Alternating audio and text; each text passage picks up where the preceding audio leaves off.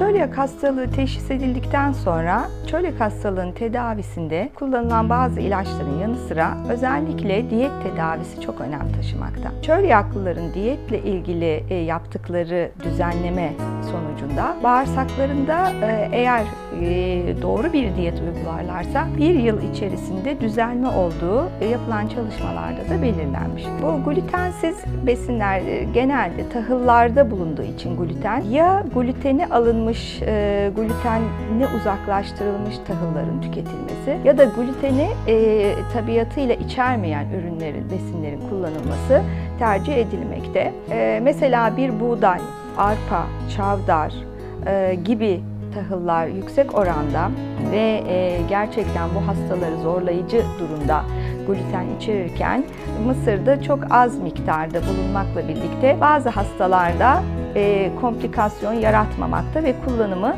sağlanabilmektedir. Bunun dışında e, sebzelerde, kuru baklagillerde, meyvelerde, e, süt ve ürünlerinde e, aslında gluten bulunmamakta ve bunlardan et ürünlerinde çok rahatlıkla tüketilmektedir. Fakat burada bunların işlenmesi sırasında ya da e, evde yapılırken e, pişirilmesi, hazırlanması sırasında kullanılan bazı yöntemlerde e, rahatsızlıkların ortaya çıkmasını sağlayan e, bazı bulaşanlar olabilmekte. Ee, mesela e, pirinç unuyla yapılan bir çorbanın aslında e, çölyak hastalarında tüketilebilir bir e, durumu bulunmaktadır. Fakat eğer o pirinç unu çorbanın içerisine koyulaşması için biraz un e, kavurup kattıkları zaman işte o zaman çölyak hastası için zararlı bir duruma geçmektedir.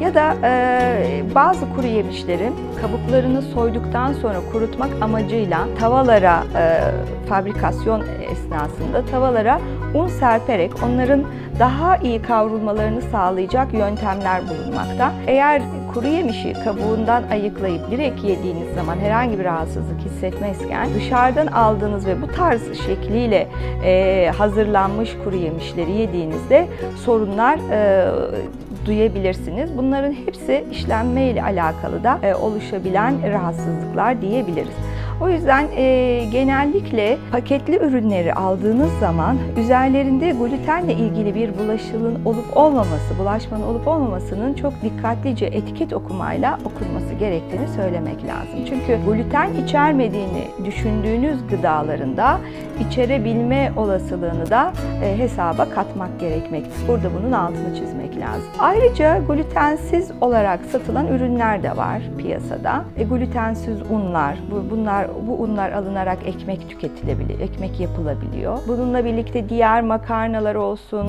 irmikler olsun glutensiz olarak piyasaya sürülmüş bazı gıdalar da var. Bunlar da alınıp kullanılabilir. Evde kişi kendisi glutensiz unlar ekmeğini, kurabiyesini yapabilir. Fakat burada şunu da dikkate almak lazım. Genelde çölyakla beraber başka hastalıkların da ortaya çıkma durumu olabilmekte. Bu yüzden diyet düzenlenirken çölyakla birlikte diğer hastalıkların da o olabilirliğini kontrol edip ona göre diyetin de ayarlanması gerektiğini belirtmek lazım.